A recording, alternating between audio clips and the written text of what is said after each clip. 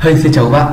À, như các bạn biết là khi các bạn làm việc với Laravel hay là bất kỳ framework nào của PHP thì các bạn thấy là à khi thao tác với cơ sở dữ liệu làm việc với các bảng các bạn thấy là chúng ta xử lý à dùng các phương thức của nó và các bạn thấy nó rất là nhàn trong việc lấy dữ liệu truy vấn hay là insert dữ liệu vào trong một bảng. Đó. Thì tại sao thằng Laravel hay là Codeigniter Framework hay là những framework khác nó lại làm được như vậy? Bởi vì Laravel nó đã cung cấp cho chúng ta cái thư viện để mà nó làm việc với uh, database rồi. Và khi mà chúng ta code khi mà chúng ta sử dụng lại nó thì chúng ta chỉ cần sử dụng những cú pháp rất là ngắn gọn như những cú pháp mà các bạn hay gặp. Ví dụ như tôi muốn lấy ra danh sách tất cả user thì các bạn chỉ cần nhảy on hoặc là user get như thế này là các bạn đã lấy ra được tất cả các user có trong bảng user rồi. Hay là tôi muốn lấy ra một bản ghi trong bảng user thì tôi chỉ cần dùng first như thế này.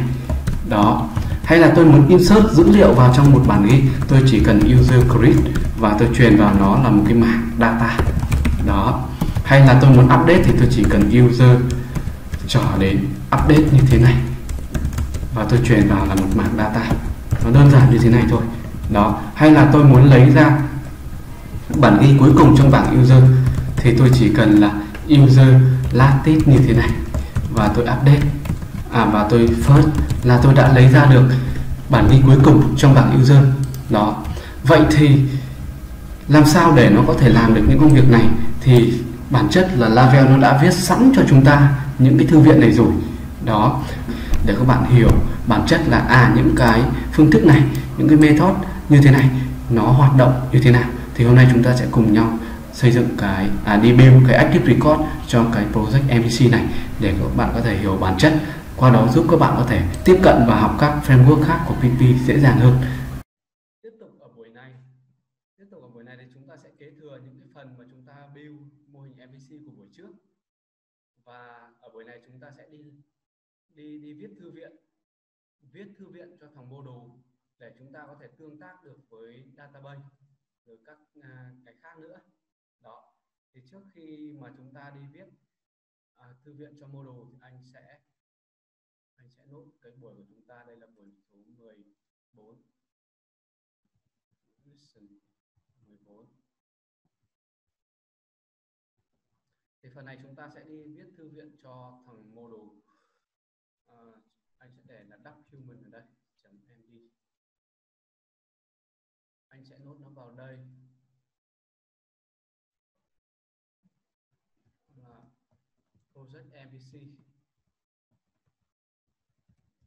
MVC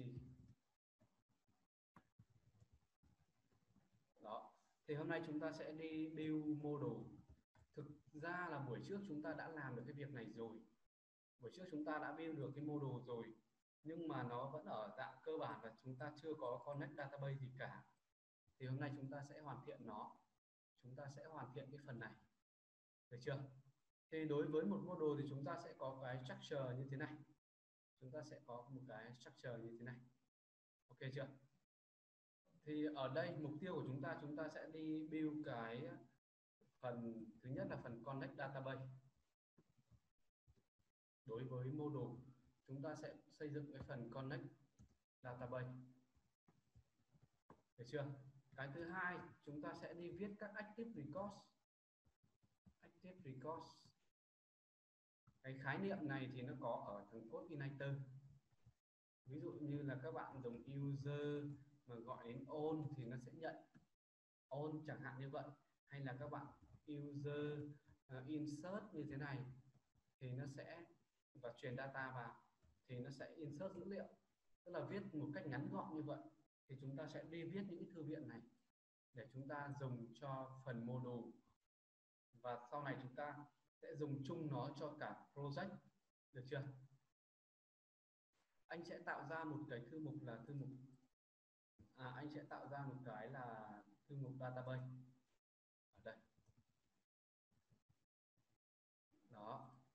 Và ở trong này anh sẽ có một cái gọi là class connect. Anh sẽ có class database đi .pp anh để đây là thư mục core này. Đó. Ok chưa? Thì anh sẽ nhúng cái. Anh sẽ require cái co vào. Anh sẽ require cái co database pp vào.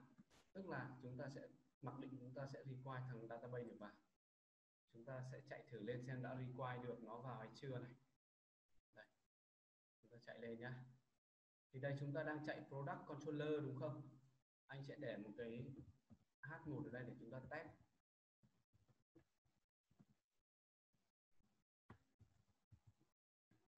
Đây. Anh sẽ để h1 ở đây để chúng ta có thể test được. Đó, ví dụ database class. Anh chạy lên. Đó, chúng ta đã nhúng được database class vào rồi. Bây giờ chúng ta sẽ đi viết. Viết cái class này. Thì mục tiêu của thằng database class này nó để làm gì? Mục tiêu của nó chỉ để connect database xử lý phần connect database thì anh sẽ là database. Đó, ok chưa? Thì ở trên này anh sẽ định nghĩa ra các biến như là host name. Host sẽ bằng cái gì? Chúng ta sẽ là local host như thế này. Đó, sau đó chúng ta sẽ định nghĩa ra biến username. Thì nó sẽ bằng, anh để bằng root. Và chúng ta định nghĩa ra biến một cái biến khác, đó là password thì của chúng ta nó sẽ là rộng. Được chưa? Và cuối cùng chúng ta sẽ định nghĩa những cái thông tin cố định dv name, của chúng ta sẽ là gì? Đối với dv name thì của chúng ta nó sẽ là tp class. Tại vì anh cũng đã đổi nó sang thằng Laragon ở bên này rồi, nên là database của nó cũng sẽ khác một chút. Các thể nhìn ở đây. Nó sẽ là pp class. Ok chưa? Đó.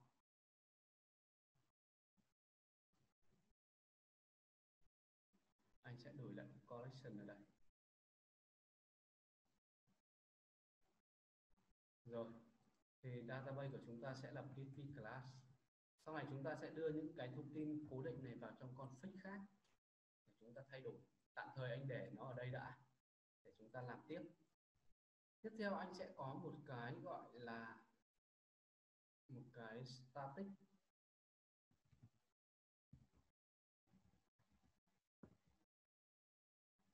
Anh tạm thời đặt một cái private đi, là connect. Cái biến connect. Ok chưa các bạn? Đó, anh sẽ đặt viết public function. Uh, connect. Ok chưa? Anh sẽ tạo ra cái connect database ở đây. Đó. Và anh sẽ làm gì? Thằng database này anh sẽ thực hiện công việc connect thôi. Đơn giản như thế này thôi anh sẽ là contract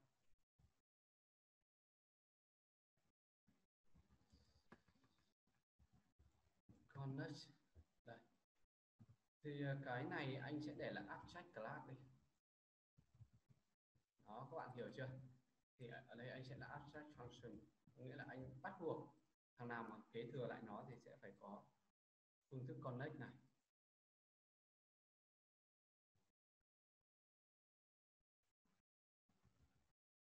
Thôi, không cần. Không cần. Anh sẽ để như thế này. Chúng ta làm đơn giản thôi đây, chúng ta cũng sẽ là public function connect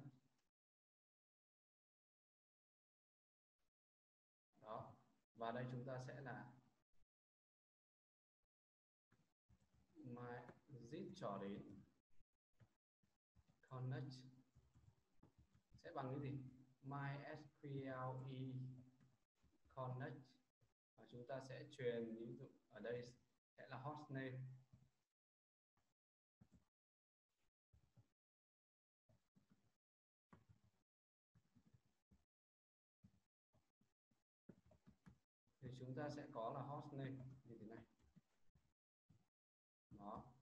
chúng ta sẽ có là username. Chúng ta sẽ có password và cuối cùng sẽ là database name.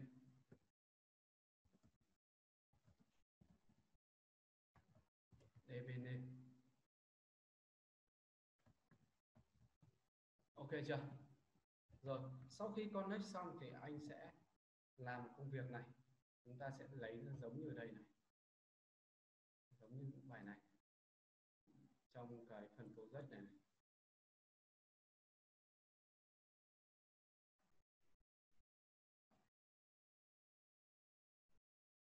đây anh sẽ ném một thằng ra.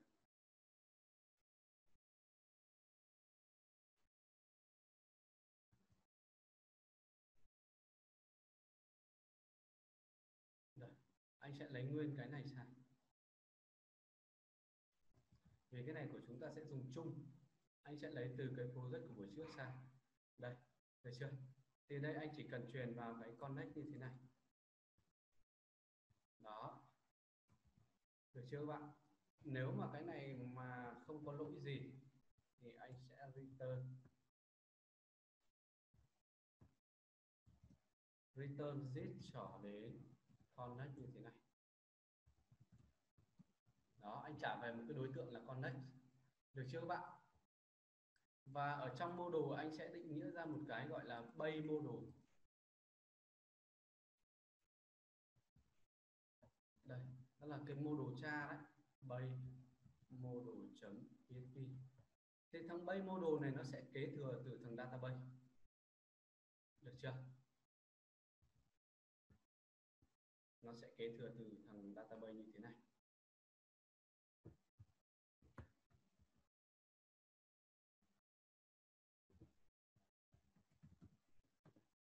đây anh sẽ viết nó lên thì anh sẽ có class là base model. Anh sẽ extend từ thằng nào? Từ thằng database. Đó. Được chưa bạn? Trong base model thì anh sẽ có cái gì? Trong base model thì anh sẽ ở đây chúng ta sẽ không cần phải định nghĩa cái này luôn đấy. đây return cái này đó trái lại thì anh sẽ return fail đây bên thằng database nhé trái lại thì anh sẽ return là fail như thế này. Thế bên thằng bay model anh sẽ làm gì? Thì mặc định khi mà chạy vào, anh sẽ có public function.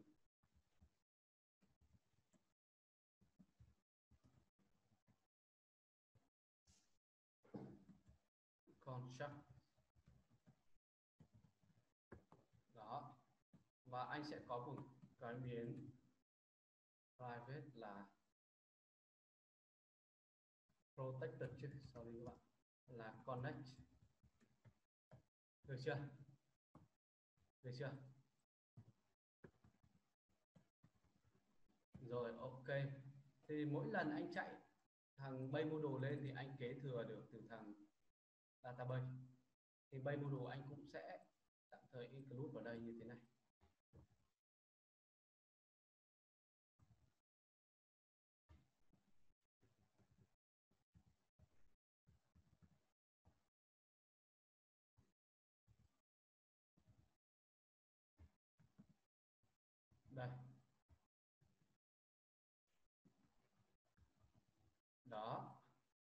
Được chưa?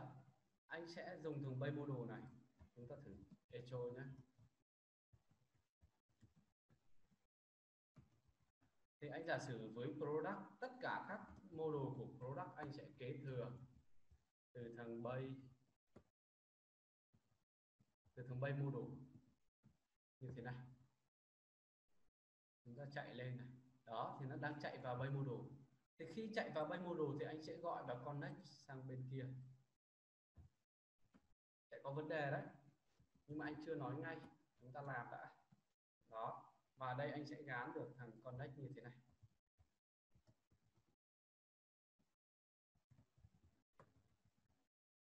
Zip trở đến connect. Đó, chúng ta chạy thử lên này.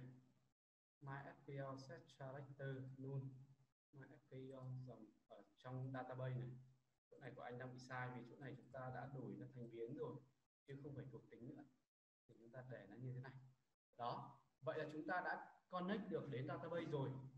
Ok chưa các bạn? Bây giờ anh muốn là ở ở thằng bay model này chúng ta sẽ đi viết các active records. Chúng ta sẽ đi viết active record cho thằng bay model tất cả những thằng thằng này cho bay model và sau này những cái sau này những cái model khác nó sẽ kế thừa từ thằng bay model thì nó sẽ dùng lại được những cái hàm của thằng bay model chúng ta làm đơn giản như vậy thôi. Ok chưa? Đó. Thì ví dụ ở đây anh sẽ có phương thức public function. Get all data đi. Đó. Giả sử như vậy. Anh sẽ có các phương thức như public function uh, file by id đó kiểu như vậy. Hay là anh có phương thức là public function uh, store? Có nghĩa là thêm mới vào bản anh sẽ mô tả đây luôn. Ví dụ như là gì? Ở đây nó sẽ là gì? Đây sẽ là thêm mới. Thêm dữ liệu vào bảng chúng ta sẽ đi viết những cái hàm dùng chung cho module. Đây sẽ là update, dữ liệu vào bảng. Thì anh sẽ để update ở đây. Anh định nghĩa trước đã nhá, chưa viết ngay. Và cuối cùng anh sẽ có một cái gọi là xóa dữ liệu. Delete. Thì anh sẽ để là destroy hoặc là delete đi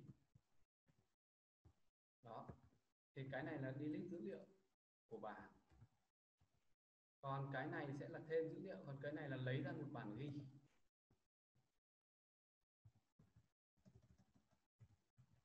Đây. Cái này sẽ là lấy ra lấy ra một bản ghi trong bảng. Được chưa? Còn này, cái này là lấy ra tất cả dữ liệu.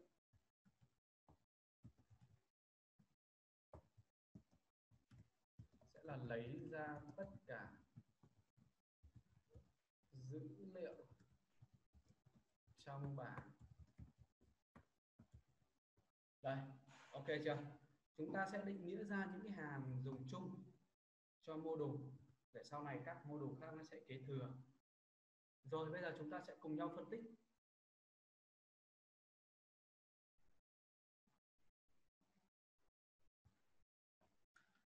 Anh đang bật mic mà.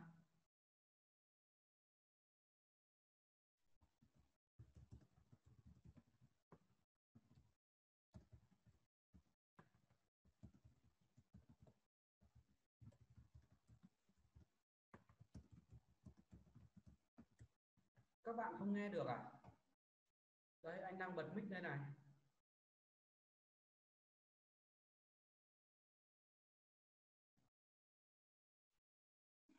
Tại vì cái mic của anh nó đang có vấn đề nên là các bạn chịu khó nghe nhé rồi ok chúng ta sẽ quay trở lại đây. Chúng ta sẽ build lại tiếp tục build cái phần module này. Đây thì cái database của của, của chúng ta trước cũng bị mất hết rồi do anh thay đổi. Thì anh sẽ à, chúng ta sẽ tạo mới lại đó MySQL chúng ta sẽ tạo một cái bảng luôn ở đây. Đây, chúng ta sẽ đi tạo một cái bảng. Rồi, thì đầu tiên anh nói về product đi. Product, thì chúng ta sẽ có những trường gì? ID này, integer unsigned này, auto increment này. Đó. Được chưa? Tiếp tục anh sẽ có name.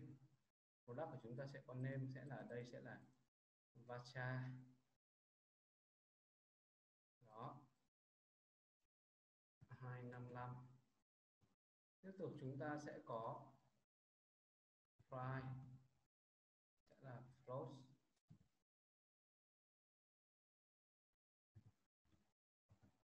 à, tiếp tục chúng ta sẽ sẽ có image.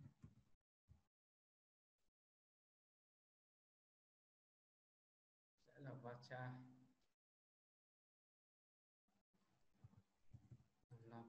và chúng ta sẽ có category ID nó sẽ là kiểu in.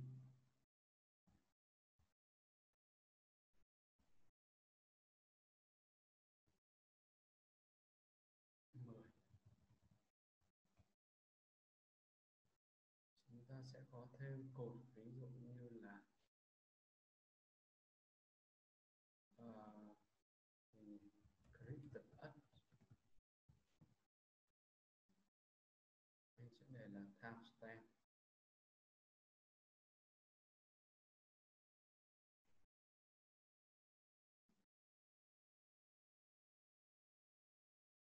vô, anh sẽ để là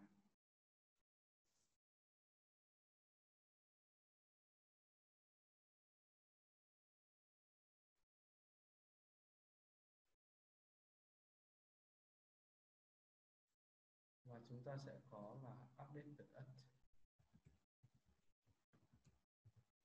đó. Được chưa? Mình xem lại. Rồi, chúng ta có bảng product rồi, bây giờ anh sẽ thêm một vài cái dữ liệu vào trong bảng này.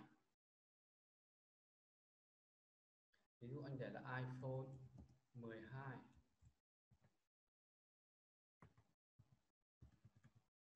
iPhone 6 giá 3 triệu. Đó, category là một. Rồi, xếp lại anh sẽ tạo ra tiếp theo iPhone 7 5 triệu 2 rồi ok anh xếp lại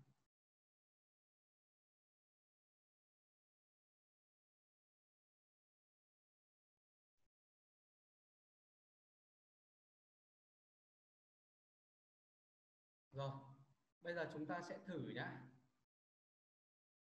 Anh giả sử chúng ta sẽ làm việc với cái bảng mẫu trước, với bảng à, product trước để chúng ta làm mẫu.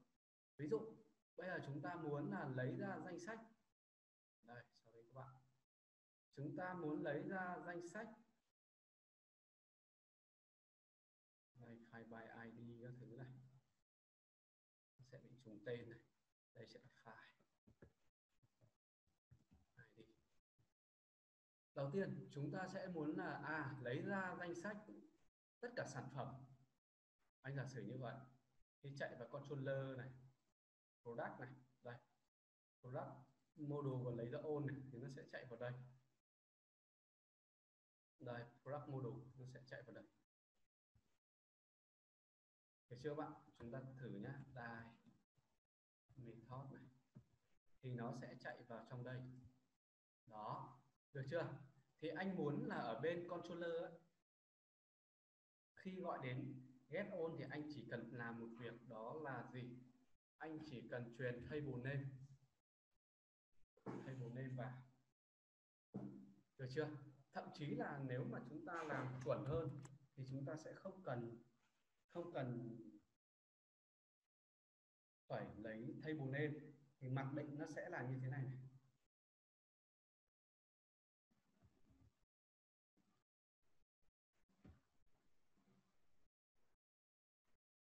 Rồi rồi, chúng ta vẫn sẽ làm. Thì chúng ta sẽ lấy table name như thế này. Ở đây.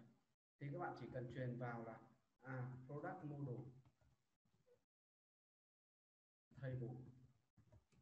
Đó.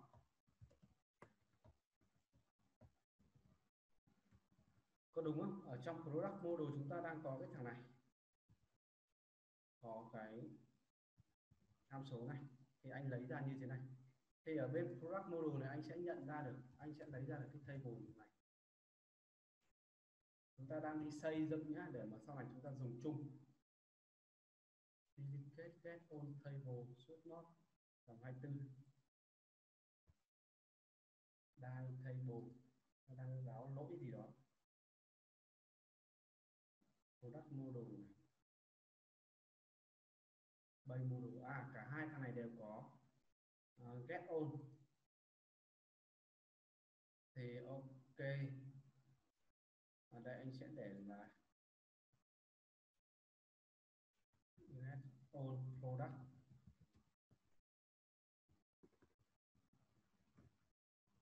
Get on. Thì bên này, bên thằng bay này anh sẽ để là on. Và anh nhận vào đây là table. Như thế này. Được chưa? Cái từ product model này anh sẽ nhận được cái table này đó. Và từ đây, anh sẽ gọi đến thằng này. Zip cho đến on. Anh cũng sẽ truyền bù vào như thế này. Được chưa các bạn? Thì bên thằng bay module này anh sẽ nhận được cái gì? Bên thằng này anh cũng sẽ nhận được cái thay bù.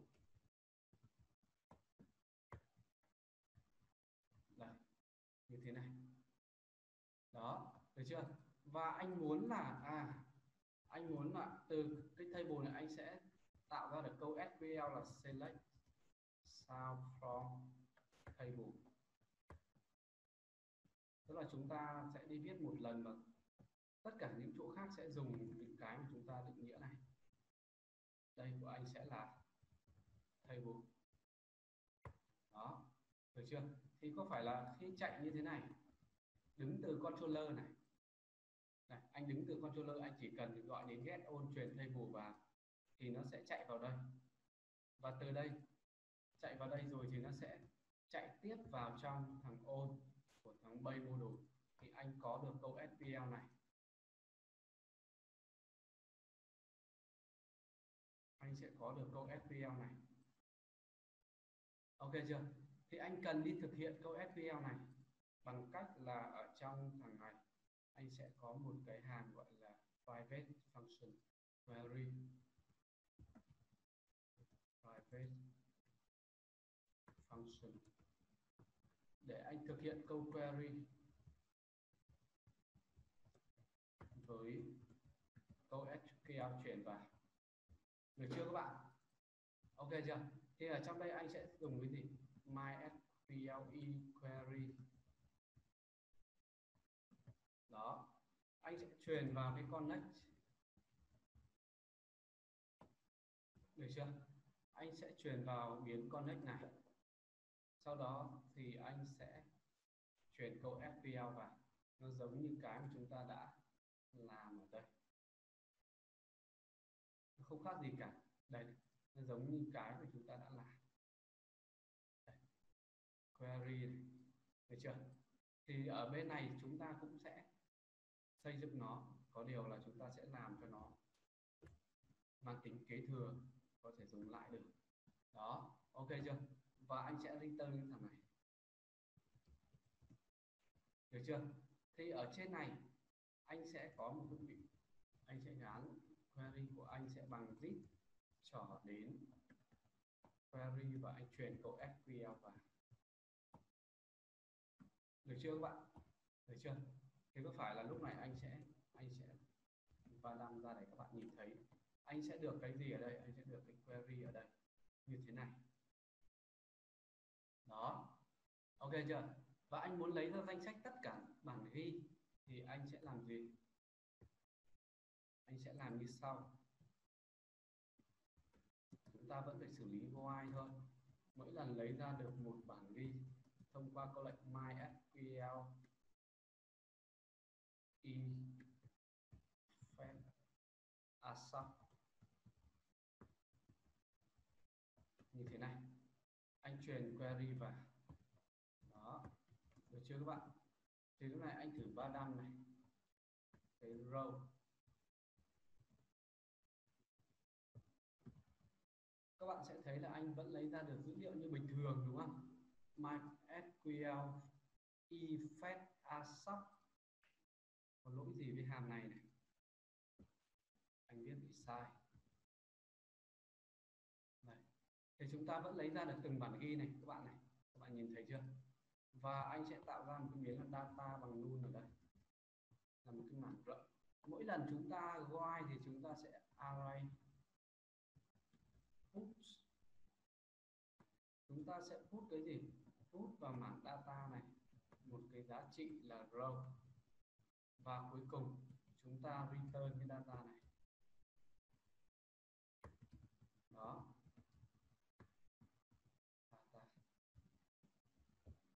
Chưa các bạn? Được chưa? Đây. Đang có lỗi dòng số 25 đây, chấm phẩy ok chưa? Đó, thì các bạn nhìn thấy này.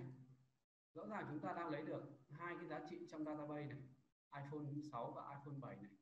Thông qua cái cú pháp rất đơn giản từ controller này, các bạn nhìn nhé. Controller anh muốn lấy ra tất cả sản phẩm anh chỉ cần viết như thế này là đủ ok chưa?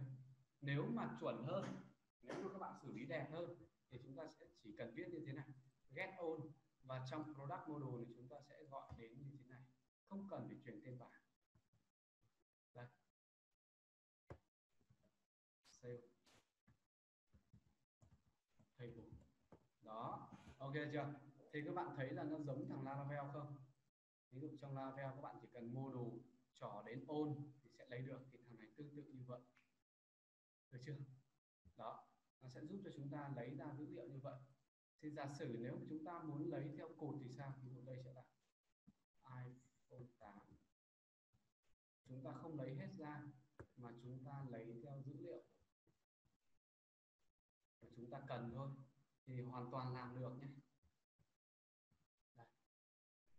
các bạn sẽ thấy là ví dụ anh chỉ select ra name và right thôi thì sao? Thì chúng ta sẽ làm như thế này. Từ đây, anh sẽ truyền vào ví dụ như là column. Anh sẽ truyền vào một cái mảng, ví dụ anh chỉ muốn lấy ra ID này, anh muốn lấy ra name này, và anh muốn lấy ra category ID thôi. Là xử như vậy. Đó. Thì cái get on của thằng product model này có tham số truyền vào thì ở trong đây chúng ta cũng sẽ phải xử lý là có một cái khái niệm gọi là select ở đây. Đó, được chưa? Chúng ta sẽ có một khái niệm select ở đây. Và ở trong on của thằng bay module chúng ta cũng sẽ phải có một khái niệm select. Như thế này. Default của nó sẽ bằng sao như thế này. Được chưa? Được chưa các bạn? Nếu mà product model anh không truyền gì vào,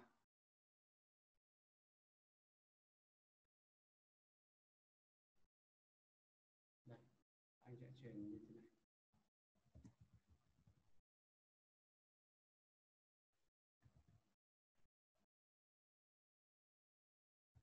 Đây, từ controller này, từ product anh không truyền gì vào này cũng không sao. Đó, được chưa? Trong bay module anh luôn luôn lấy ra được cái biến select này. Select những cột nào đấy. Thì anh luôn luôn lấy ra được cái select này. Đây, các bạn nhìn này. Anh sẽ print nó lên để các bạn có thể nhìn thấy này.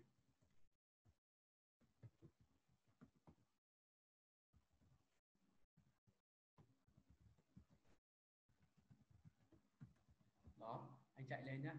Thì chúng ta luôn luôn lấy ra được select bằng on ok chưa? Nếu từ controller anh truyền vào những cột mà anh cần thì trong đây select sẽ thay đổi theo. Đó, vấn đề của chúng ta chúng ta sẽ đi xử lý select này. Thì chúng ta chỉ cần include cái này là xong. Đây. Ở trong bay module anh chỉ cần, có phải chúng ta sẽ intro, chuyển nó từ mảng sang chuỗi, cách nhau dấu phẩy như thế này đây của chúng ta sẽ là select. Các bạn sẽ nhìn thấy là à chúng ta sẽ lấy ra được danh sách các cột cần select.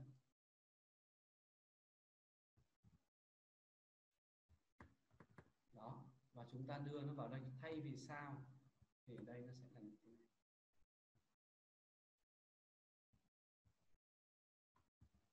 Đó. Ok chưa? Chạy thử lên nhé lỗi à impros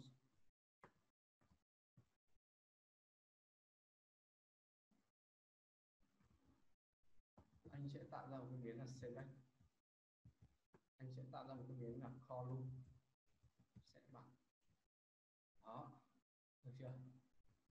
Và đây của anh nó sẽ là như thế này. Thì các bạn sẽ nhìn thấy này. Anh chạy lên này.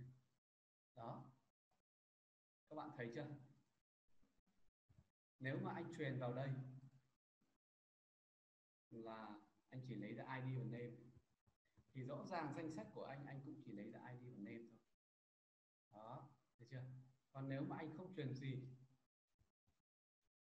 nó sẽ lấy hết. Được chưa? Còn nếu mà anh truyền, nó sẽ lấy đúng như những cái anh cần rồi. Rồi đây.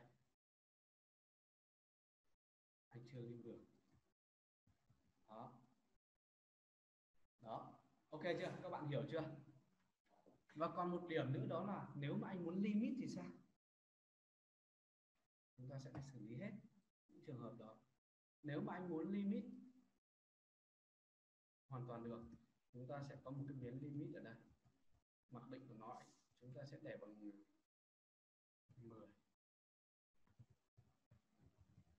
đây, thì ở đây chúng ta sẽ là luôn luôn có một cái giá trị limit bằng cái biến limit mà chúng ta truyền vào. Đó. Ok chưa? Từ bên ngoài này anh cũng sẽ phải truyền vào một cái gọi là limit. Và đây, anh luôn luôn có biến limit truyền vào. Đó, ok chưa các bạn? Ừ. Bay mô đồ dòng 25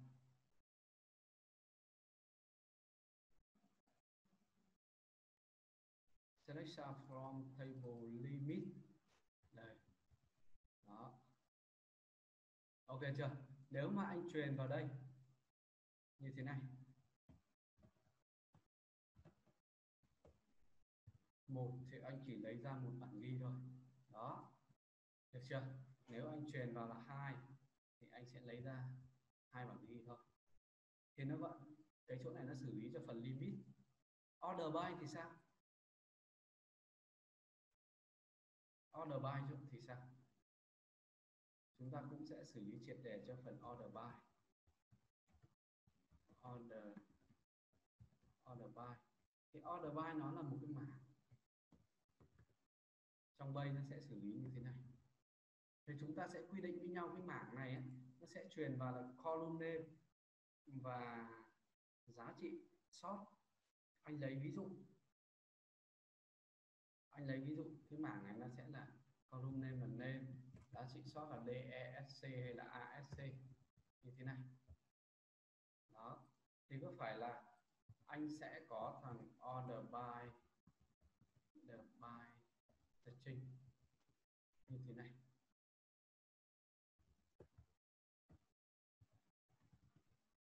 sẽ bằng implodes đó của cái này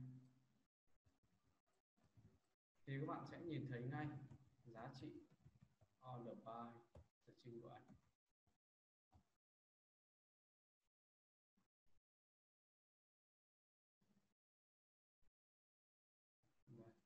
thì chúng này chúng ta cũng sẽ truyền đúng. Ở đây, chúng ta cũng sẽ là có order by.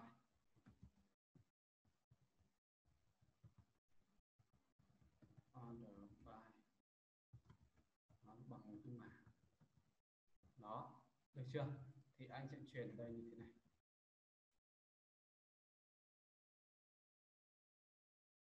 Bay module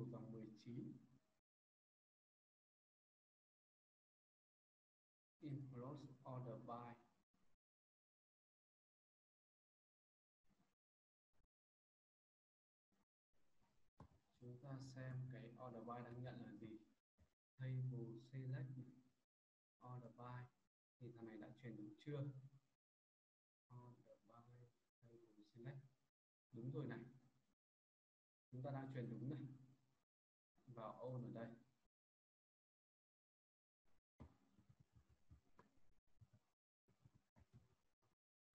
Chúng ta xem cái này.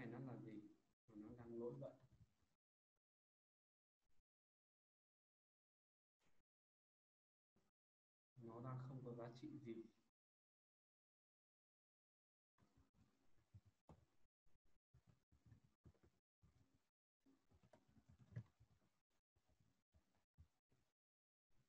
Ừ, nó đang nhận giá trị bằng hai.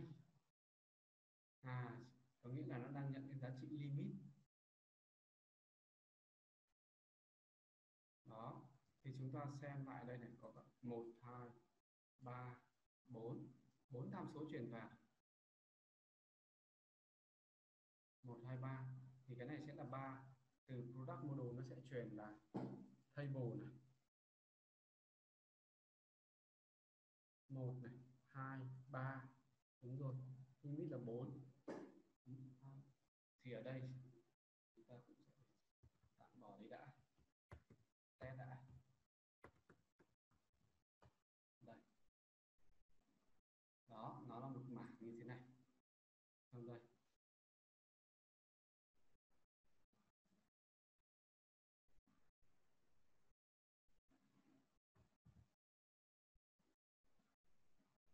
thì giả sử nếu ở bên ngoài này, anh muốn lấy ra cột này, sau đó anh lại muốn order như thế này. ID giảm dần.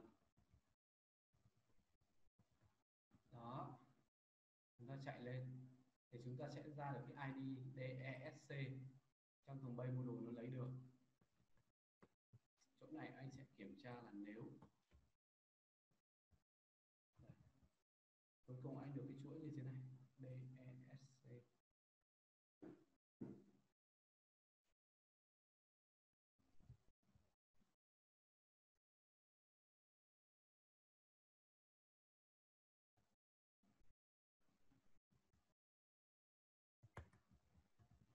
tạm xử lý như này đã đây order by chúng ta sẽ truyền vào như thế này nhé. Column cho order by đó là column nào? Name à, ID đó chúng ta sẽ truyền vào như thế này. Rồi là nó sẽ order theo cái kiểu type là gì? Là order đi. Kiểu order sẽ là gì? Ví dụ ở đây anh sẽ để là DESC đó được chưa? Thì các bạn sẽ nhận được cái giá trị như thế này. ID DESC thì ở trong bay module anh sẽ kiểm tra như thế này. Nếu mà thằng này có, thì anh sẽ đưa vào.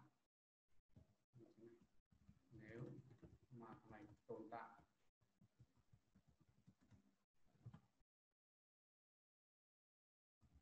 thì anh sẽ viết như thế này. Anh thêm những tham số là order. Bài như thế này anh truyền cái này vào.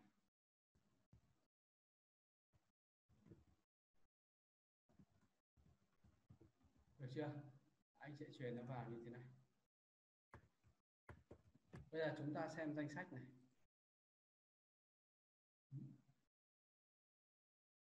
Chứng tỏ câu SQL này đang chưa đúng.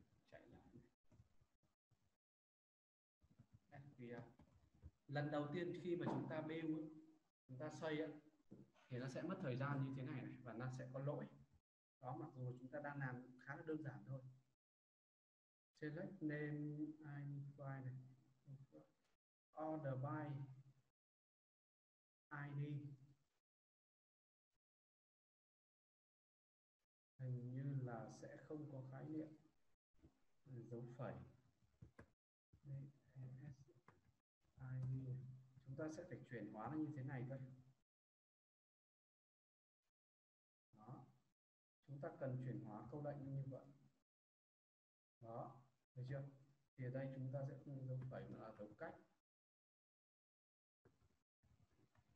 Thì các bạn sẽ thấy chúng ta được những danh sách mảng có ID chúng ta đang không select ID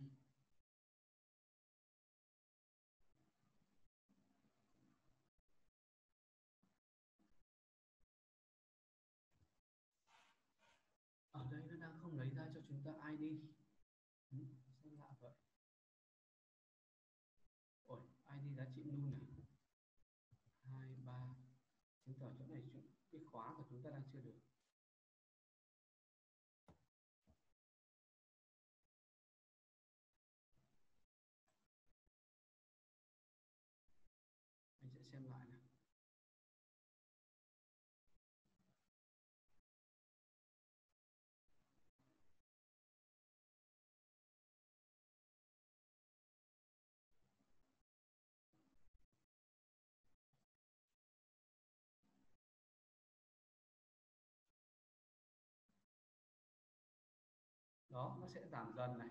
Thấy chưa? Còn nếu mà anh, từ con controller anh truyền vào, thằng này nếu tăng dần, như thế này. Anh lưu nó lại. Thì ở đây nó cũng sẽ phải thay đổi theo. Thì trong cái bay này của chúng ta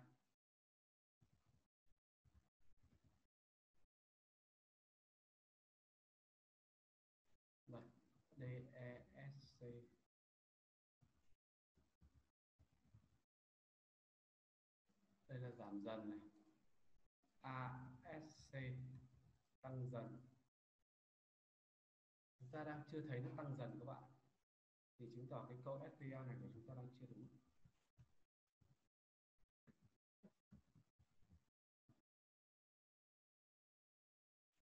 Order by ID vẫn là DESC nhỉ ASC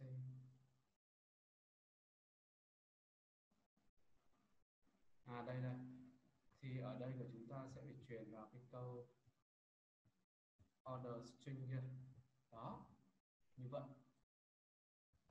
Chúng ta chạy lên này. Undefined id đây. Đó. Ok chưa? Đây này chúng ta bỏ cái đai đi đó các bạn hiểu bản chất chưa? Đó, nếu mà controller thay đổi này, thành DESC thì chúng ta cũng sẽ thay đổi theo. Đó. Được chưa các bạn? Các bạn có thể viết như thế này cho nó tưởng minh này. Tạo ra một cái biến order nếu có. Đó, nó là một bảng như thế này. Nhìn cho nó đỡ bị rối. Được chưa? Rồi column ở đây là select chúng ta cũng sẽ select những cột nào select column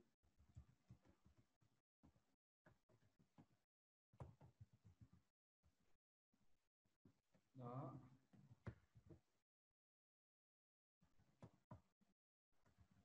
kiểu như vậy, thì đây các bạn chỉ cần truyền vào như thế này. Đó là select column và order. Đơn giản vậy thôi. Các bạn nhìn, lớp mình có hiểu không? Có hiểu cái chúng ta đang làm không? Các bạn hiểu chưa? Thì khi mà các bạn xây dựng như thế này thì những thứ khác nó cũng sẽ rất đơn giản. Anh lấy ví dụ, bây giờ chúng ta làm cho category này category chúng ta có bảng category table. Có id này in này 10 này unsigned này. Auto increment đây này. Not null này. Đó, category anh có name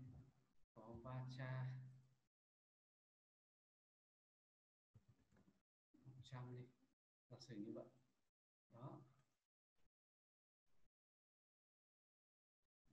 Rồi, test nó là khóa chính. Ok. Chúng ta sẽ thêm dữ liệu cho nó. Ví dụ anh để là laptop, mobile đó anh để là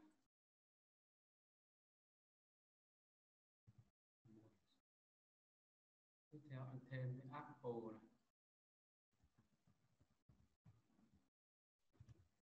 sẽ là hai. Ví dụ anh thêm tiếp theo đó là à, laptop. Là ba. Ví dụ như là desktop. Sẽ là bốn. Giả sử như vậy bây giờ đối với category đấy, chúng ta cũng sẽ làm nó nhàn hơn rất là nhiều. Đây, ví dụ thay vì category, thay vì chúng ta controller chúng ta lấy giá trị cố định ra như thế này. Đó, thì bây giờ chúng ta sẽ làm đơn giản hơn rất nhiều. Bằng cách là chúng ta sẽ sử dụng public function contract. Contract. Như thế này. Được chưa các bạn? Sau đó thì chúng ta sẽ làm gì? Chúng ta sẽ load model bằng cách là chúng ta sẽ load model như thế này. Và chúng ta sẽ là category model. Đó. Chúng ta sẽ tạo ra một cái private là category model rồi anh sẽ zip trở đến new free model như thế này. Được chưa? Thì anh muốn lấy ra danh sách tất cả những category thì anh chỉ cần tạo ra một controller à tạo ra một cái model category như thế này. Category model.php thì theo đúng format thì thằng model này sẽ phải kế thừa từ thằng base model các bạn cứ làm đúng thôi, như chúng ta quy định. Thì sẽ là category model extend base model đó được chưa? Và trong này chúng ta sẽ có phương thức là get all.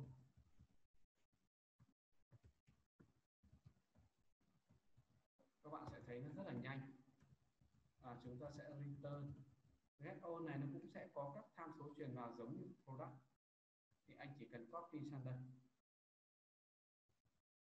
đó anh đổi tên bảng category đó còn mọi thứ chúng ta giữ nguyên.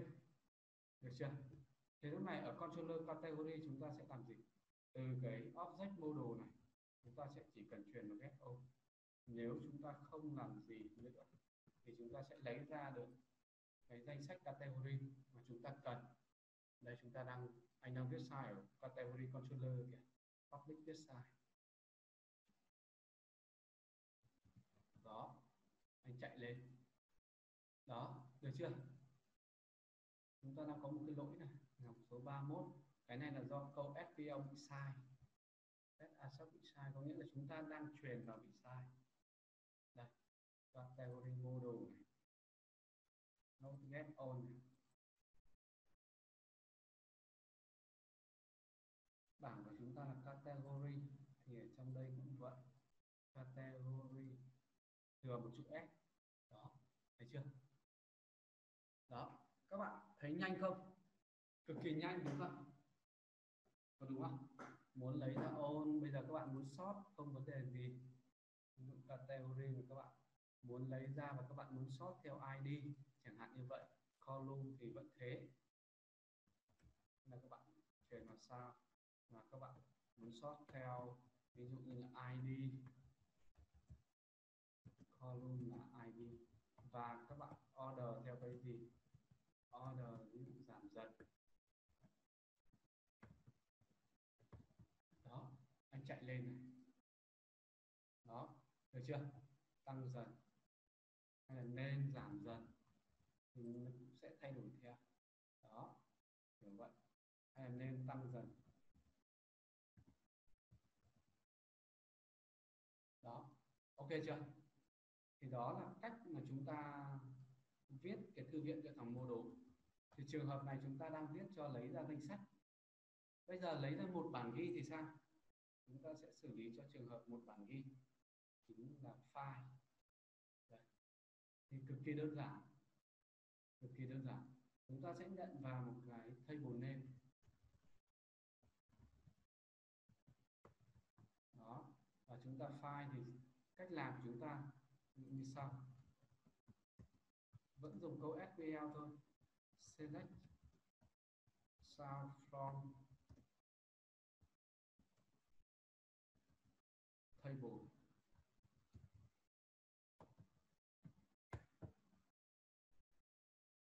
Được chưa các bạn? Where? Where cái gì? Where cái khóa chính của nó?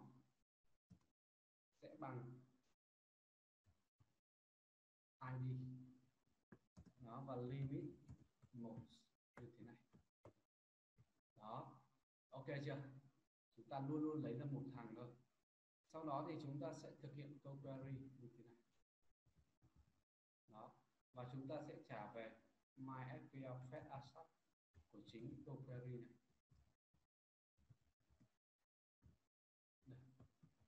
Được chưa các bạn? Ví dụ anh muốn lấy ra category có ID bằng một. Đây, chúng ta sẽ vào category này action bằng sâu giả sử như vậy đây, chúng ta vào bằng sâu và anh truyền cái ID bằng một. Thì chúng ta sẽ làm như sau. Trong category anh sẽ tạo ra một phương thức model anh sẽ tạo ra một phương thức là file by id và anh chuyển id vào. Trong đây anh sẽ trả về zip trỏ đến cái gì các bạn?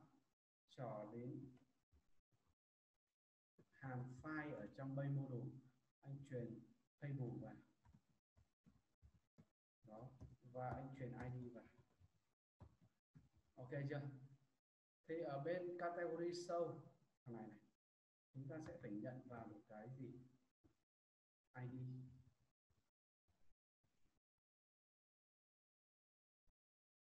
như thế này thì nó sẽ báo lỗi đấy chúng ta sẽ lấy cái đô la get id ở đây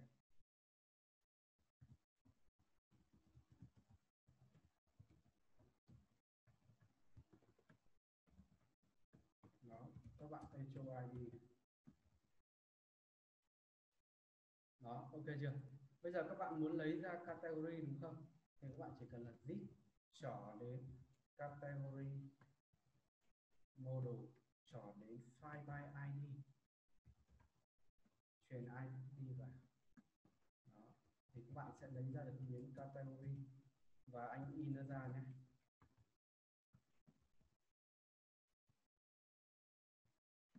đây chúng ta in nó ra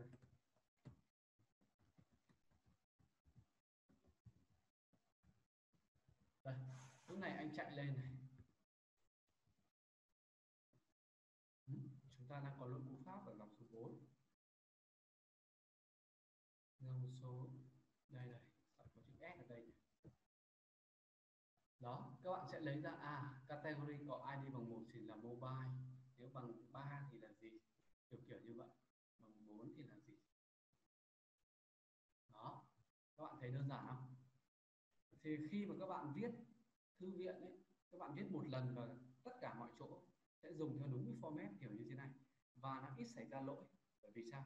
Chúng ta đã giả soát lỗi một lần ở đây rồi. Những chỗ khác, cứ truyền vào là nó sẽ xử lý cho chúng ta. Ok chưa?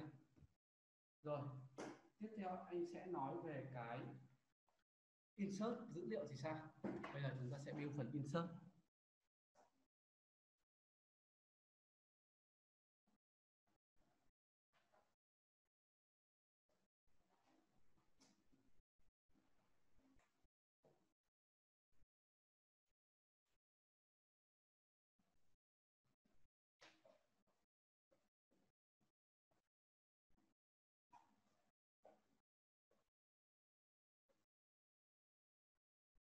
Thì phần insert chúng ta sẽ build nó như sau. Insert dữ liệu. Ví dụ anh tạm có một cái à, method là create public function store đi. Thêm mới category. Đó. Thì anh sẽ chạy vào cái action là store. Như thế này. Thì có phải là anh sẽ chạy vào đây không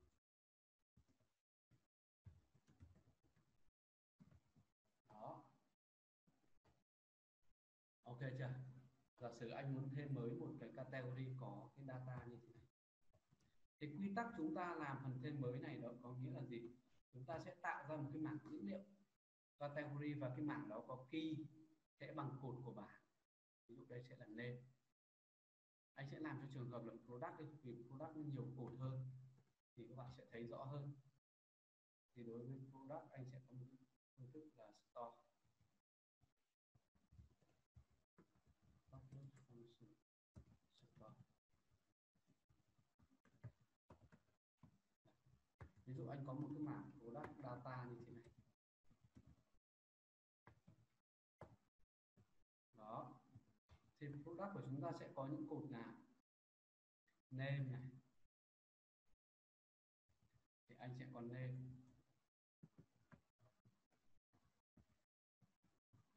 name ví dụ anh để là iPhone 12 đó ok chưa anh sẽ có price đó, ví dụ như 25 triệu đó chúng ta sẽ có image, chúng ta để làm null.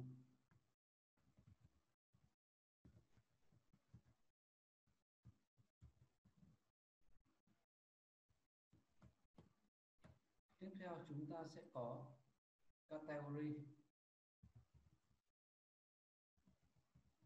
ID ví dụ iPhone thì anh sẽ để nó vào thư mục. Có ID là hai. Như thế này. Thì đây một cái data chúng ta thêm vào bảng này nó sẽ như thế này.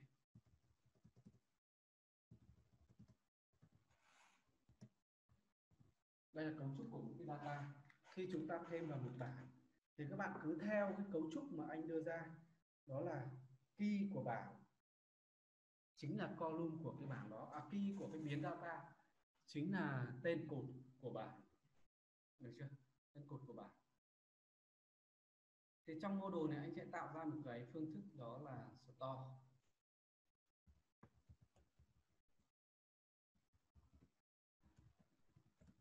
Store, anh nhận vào một cái data như thế này. Nhận vào duy nhất một cái data thôi đó. Thì từ thằng store này anh sẽ tạo ra, anh sẽ sử dụng cái bay của thằng model bay, sẽ là create thì anh sẽ nhận vào là một cái table và data nó là mã đó ok chưa? Thì từ product store này anh sẽ gọi vào create với table anh truyền vào. Và cái data anh nhận được. Ok chưa? Trong bay lúc này anh sẽ nhận được các thông tin đó là table đó là data print data đây thì từ controller anh sẽ truyền vào như thế này. Từ controller anh sẽ không quan tâm nó là table nào nữa. Bởi vì anh đang dùng module là product thì chắc chắn nó sẽ là product module rồi à table rồi. Và anh sẽ truyền vào là store với cái data mà anh lấy được từ form. Như thế này. Category store, đây sẽ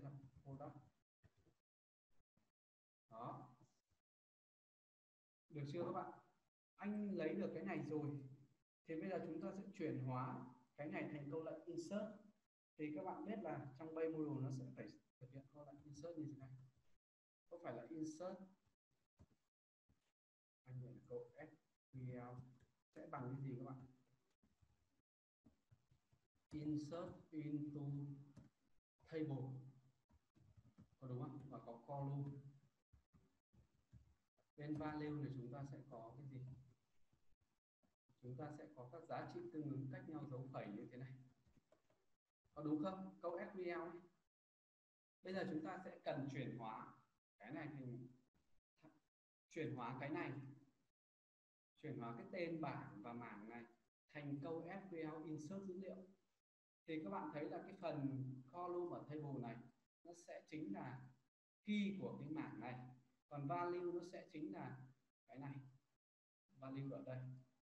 Table ở đây thì anh sẽ có table như thế này rồi.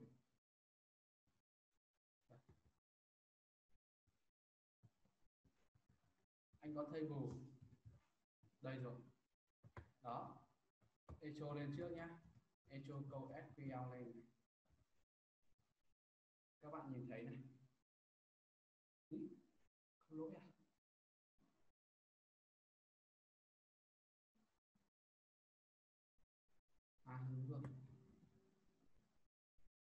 Câu SQL nó sẽ như thế này. Table, đây sẽ là nháy đơn. Chuyển thành nháy kép. Đó. Insert into product. Anh muốn chuyển cái này. Thì chúng ta sẽ dùng hàm array key để chuyển key thành mảng. Thì anh sẽ dùng như thế này. Column sẽ bằng array key anh chuyển cái data kia anh sẽ lấy ra được cái mảng này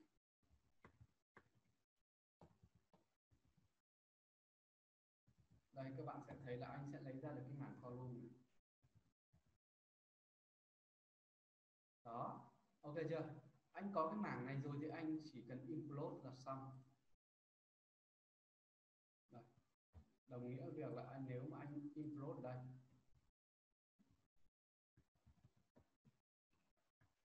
anh implode thì anh sẽ nhận được một cái chuỗi như thế này đó ok chưa? Và anh sẽ đưa cái chuỗi này vào trong. Thì đây anh sẽ xử lý luôn implode ở trên này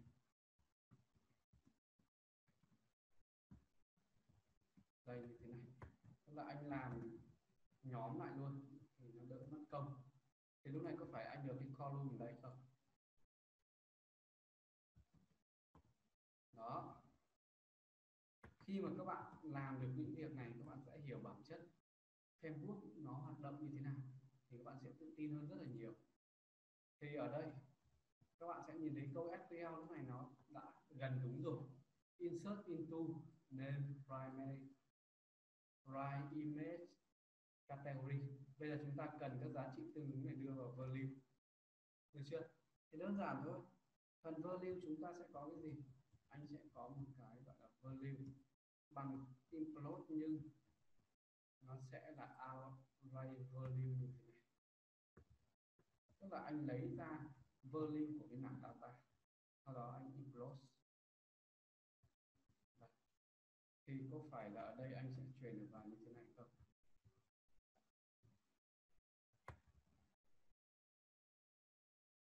Đó. Đây. Nên iPhone 1 price 25 triệu. Image. Category bằng 2 vấn đề chúng ta sẽ phải bọc cái này trong dấu nháy. Thì anh sẽ dùng như thế này anh sẽ ép cái thằng value này anh đưa vào array array map như thế này trong thằng array map anh sẽ trả về một cái function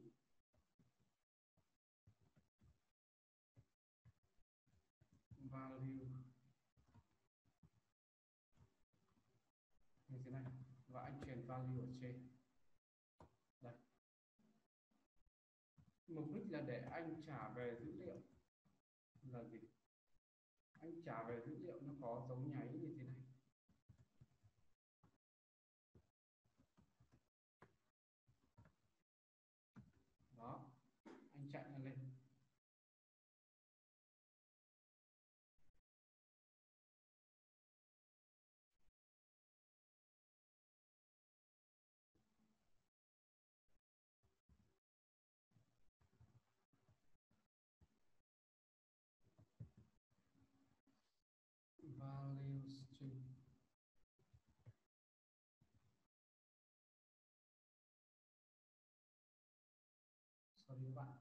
xử lý nó ở đây. Thì ờ, cái này anh chưa include đúng ở đây anh sẽ là như thế này. Value string anh sẽ bằng cái này. Array của data value. Này, anh viết lại. Chỗ này nó sẽ là array của data value. Đó. Và đây nó sẽ là value string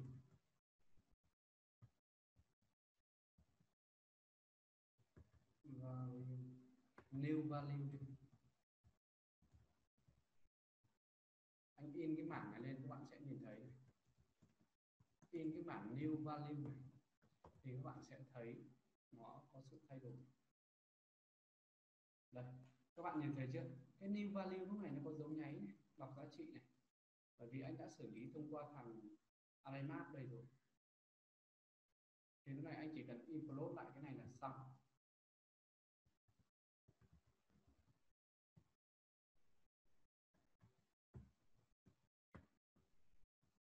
đây anh sẽ implode lại đó anh thay ở đây thành new value ok chưa? Tạm bỏ cái này đi. Thì lúc này các bạn thấy là chúng ta có câu SQL hoàn chỉnh. Insert into product. Value tương ứng. Ok chưa? Bây giờ anh sẽ thử này. Thì việc cuối cùng của chúng ta sẽ là làm gì? Chúng ta chỉ cần đi thực hiện câu SQL thôi. Đấy. chúng ta sẽ zip cho đến query đó, được chưa? Chạy thử lên nhé rồi, xem dữ liệu có thêm không này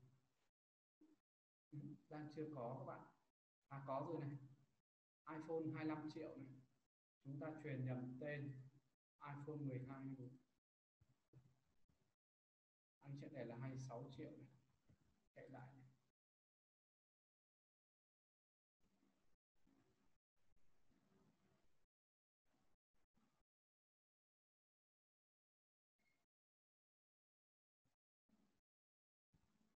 Các bạn thấy chưa? iPhone 12 26 triệu. Ok chưa các bạn? Ở đây của chúng ta cái primary key nó đang chưa đúng.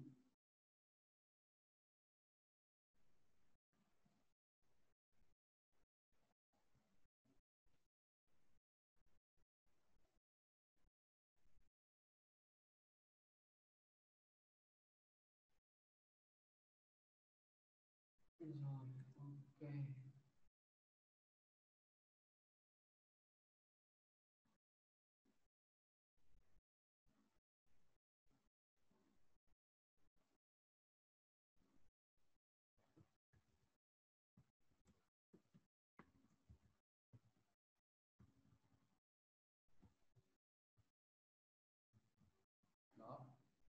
Rồi thời như vậy đã nhé chúng ta sẽ xử lý cái ờ, DV này sau. Anh sẽ lấy lại cái DV của trước. Đây. Ok chưa? Rồi, các bạn đã hiểu phần này chưa? Các bạn có hiểu cái phần insert mà anh vừa làm không? Lúc mình có hiểu không? Bây giờ anh sẽ về phần product này thì chúng ta sẽ thấy danh sách danh sách sản phẩm nó có thêm. Đấy. được chưa? Lớp mình có hiểu không? Bây giờ chúng ta sẽ đi làm tiếp tục cho phần update. Phần update. Thế đối với phần update anh sẽ làm như sau. Anh sẽ tạo ra một cái update có table truyền vào này có data và update cho cho cho cái nào thì anh sẽ có ID và data. Đó, thì chúng ta có câu SQL cho update nó sẽ là gì các bạn? Update table.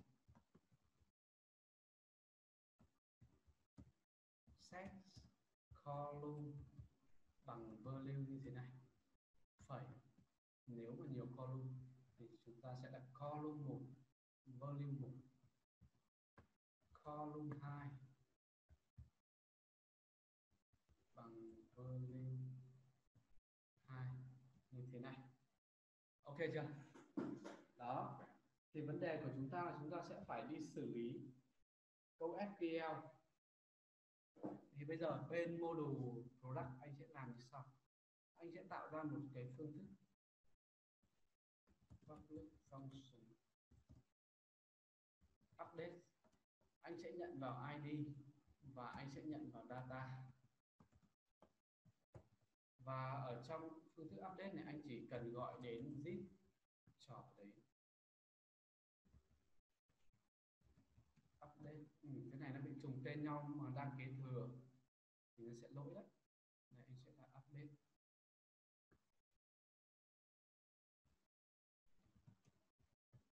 thì bên này anh sẽ đổi tên đi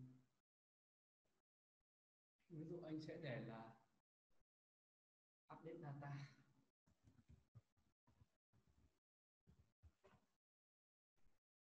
đó và anh sẽ truyền vào table như thế này. Và anh truyền ID như thế này. Ok chưa? Bây giờ chúng ta sẽ tạo ra một phương thức update ở trong controller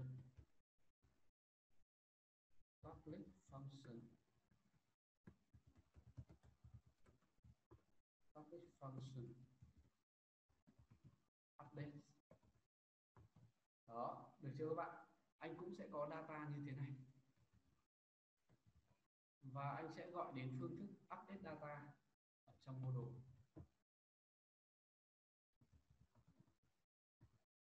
Đó. Anh sẽ truyền vào là id thì anh sẽ lấy ra được dollar get giả sử mình update cho bản ghi nào đó id thì ở đây sẽ là id bây giờ anh sẽ chạy thử lên nhé ví dụ đây action của chúng ta sẽ là update id bằng 4 đi bằng 3 iPhone 8 có ID bằng 3 đó thì lúc này nó đã gọi vào trong thằng bay module rồi. Chúng ta tự echo câu SQL này lên.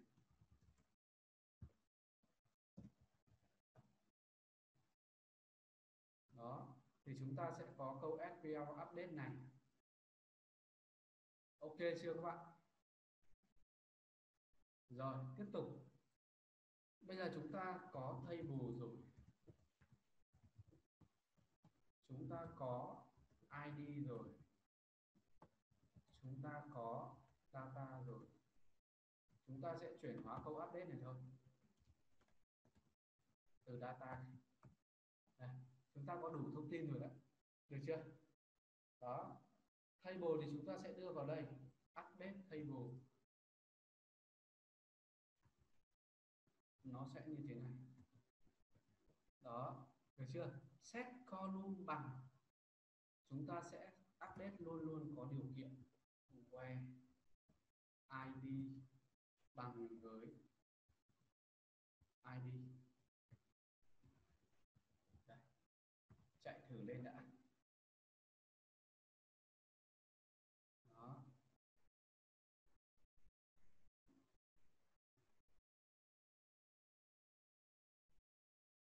Được chưa? Được chưa các bạn? Rồi, ok, tiếp tục nhá. Tiếp tục này. Bây giờ vấn đề chúng ta sẽ xử lý column này. Thì anh sẽ đi giải quyết bài toán đó bằng cái này. Anh sẽ for x cái mảng data ra. Anh sẽ for x cái mảng data này. S khi cho đến value.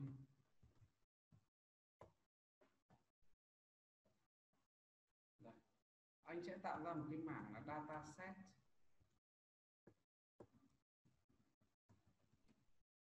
data set mỗi lần chạy vào thì anh sẽ put dữ liệu vào trong thằng data set như thế này. À, Array put. Dữ liệu đây nó sẽ như thế này. Key bằng value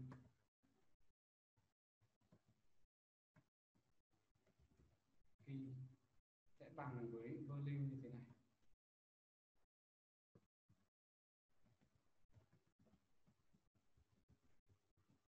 value đó lúc này chúng ta xem cái mảng này. Chúng ta xem cái mảng dataset này, các bạn sẽ nhìn thấy này. Đó nên bằng iPhone 12 price bằng 26 triệu, image bằng cái gì đó. Chúng ta chỉ cần upload mảng này là xong. Đây, chúng ta sẽ upload nó ra để xem này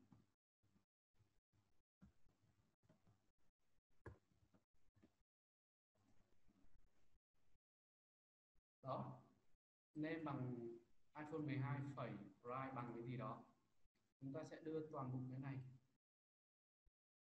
vào trong câu SQL data set string thì anh sẽ thay nó ở đây.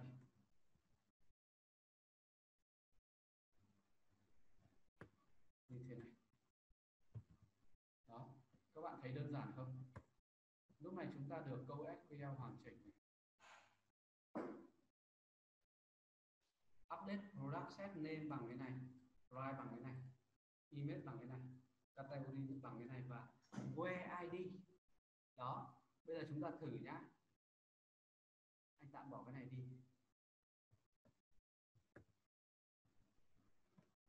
Bây giờ chúng ta sẽ thực hiện câu query này bằng cách gì? trở đến video rồi.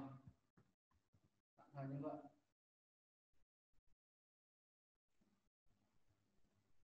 Đây, ví dụ anh update iPhone 15 thay cho thằng iPhone 8 chạy lên này. Đó, chúng ta kiểm tra thằng iPhone 8 này. Nó sẽ được, có ID bằng 3 này, sẽ được thay thế bằng bằng iPhone 15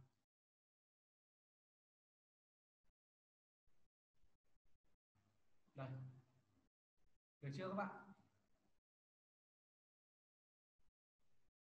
Đó. Thì khi các bạn muốn dùng cho category thì nó cũng cực kỳ đơn giản. Ví dụ bên category các bạn cũng muốn update, thì các bạn chỉ cần về nó sang như thế này. Đó. Được chưa? Trong category các bạn có một phương thức update. Giả sử như vậy nhé public function update đó thì các bạn cũng lấy ra như thế này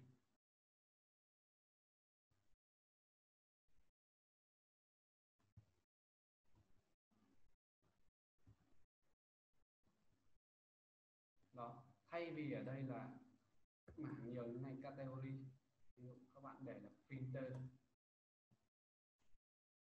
Đó, được chưa? Đây sẽ là category module. Các bạn thấy nó tạo ra cái chuẩn chung chưa? Thì đây là những cái ưu điểm khi các bạn dùng MVC đấy. Viết nhìn code nó giống giống nhau, đúng không? Thế nên khi các bạn học Laravel, các bạn thấy nó rất là nhanh là như vậy khi các bạn chuyển sang học Laravel ấy các bạn thấy là à cú pháp của nó, khá là giống nhau. Nếu mà các bạn chỉ làm ở mức gọi là thêm sửa xóa thôi thì nó cực kỳ đơn giản chỉ mất 2 tiếng để học nó thôi. Rồi ok. Bây giờ anh muốn update thằng category có ID bằng 3 nhé đây laptop chuyển thành printer này. thì đây anh đổi thành category đó chúng ta chạy thử lên này nó đổi thành printer này được chưa được chưa các bạn? Lớp mình có hiểu anh đang làm gì không? Alo?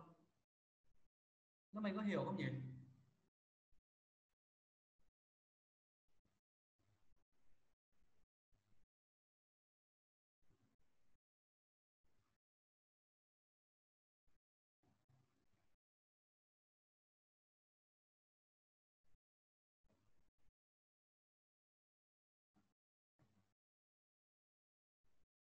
Rồi ok, bây giờ anh sẽ đi build nốt thằng bay model. Bay model thì anh sẽ làm gì? Anh sẽ làm nốt phần xóa. Thì phần xóa thì anh chỉ cần nhận vào table và ID của ông mà cần xóa. Thì ID này nó sẽ là số ít hoặc là số nhiều ở đây anh trường hợp này anh làm cho số ít trước đã. Đó. Thì anh sẽ build câu SQL xóa cực kỳ đơn giản. Sẽ là delete from table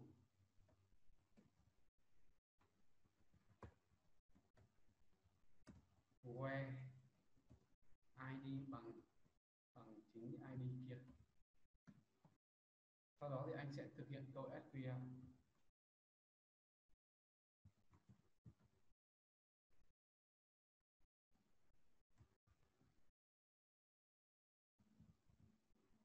SQL được chưa? Ví dụ bây giờ anh muốn xóa danh mục anh tạo ra một phương thức. Public function. Delete. Trong module category anh chỉ cần tạo ra một cái phương thức destroy à, một cái method là destroy anh truyền ID vào. Như thế này. Anh zip trở đến delete. Anh truyền table vào. Và truyền ID ok.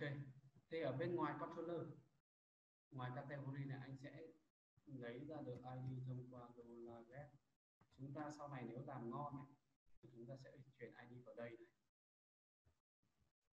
này đó cho đến category module, cho đến delete ok chưa? Và anh truyền ID vào. Đó, nó sẽ như vậy. Được chưa các bạn? Ví dụ, bây giờ anh chạy lên này, anh xóa category bằng 3 chúng ta đang có một lỗi bay module delete. Đang chưa tham số truyền vào à rồi category model truyền cho mình nhỉ category truyền ID rồi category model chúng ta cũng đã truyền table anh sẽ đai thử ở đây xem sao table chạy lên này to fill bay model delete passive category controller. Expect uh, à, hai giá trị truyền vào delete này.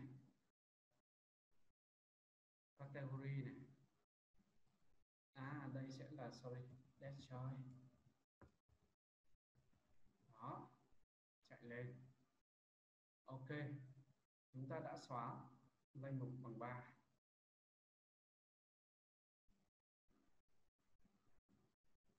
chưa được xóa các bạn. À rồi, anh đăng đai ở trong module bỏ nó đi. Đó, như vậy là chúng ta đã xóa thành công rồi đấy đó, ok chưa? Được chưa bạn? Ví dụ product cũng tương tự như vậy, anh muốn xóa một sản phẩm bất kỳ update function delete delete này anh sẽ lấy được id thông qua dollar get của id đó và anh zip chúng ta cũng sẽ thêm phương thức destroy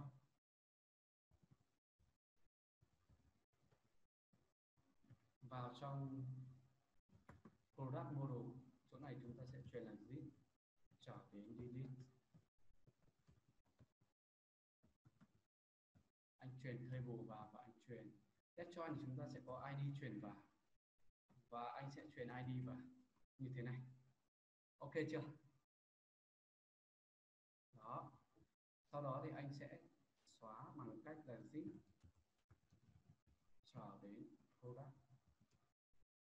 Model trở đến desktop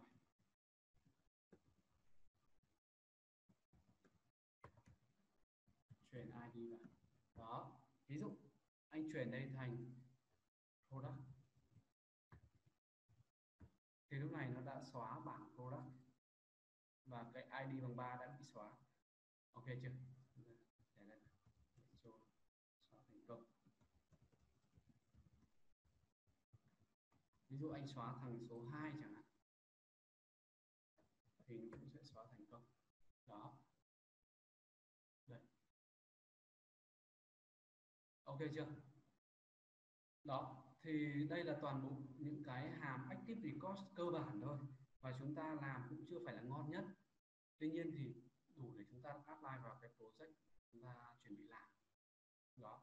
Và qua cái phần này thì cũng giúp các bạn uh, hiểu rõ hơn về cơ chế hoạt động của một model trong các framework của thằng PP đó các bạn hiểu là à tại sao khi các bạn gọi đơn giản như thế này thì nó lại thực hiện cho các bạn công việc insert? Tại sao khi các bạn gọi nó đơn giản như thế này thì nó lại thực hiện cho các bạn update dữ liệu? Cách chính xác. Đó thì bản chất của nó là nó đã viết sẵn cho chúng ta những cái phần xử lý ở bên trong rồi. Khi các bạn dùng các bạn chỉ cần gọi và các bạn sẽ thấy đâu đó những cái format mà các bạn dùng những cái rule những chuẩn chung mà các bạn đang dùng nó khá là uh, nhất quán về mặt uh, tên function tên biến rồi là các param truyền vào thì đây là ý nghĩa khi mà các bạn à, build một cái project chuẩn theo MVC và viết theo hướng đối tượng. Đó ok chưa? Thì uh, ở bài này thì chúng ta đã build xong những cái method này rồi. Uh, buổi sau anh sẽ uh, bắt đầu apply cái giao diện của phần project này vào để chúng ta làm backend đó